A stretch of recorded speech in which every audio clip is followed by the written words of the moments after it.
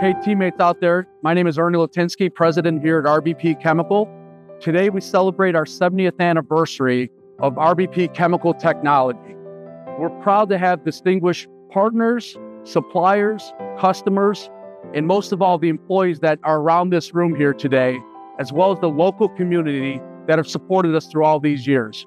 We look forward to another great 70 years and more thereafter. Thank you for what you do for us. Appreciate it.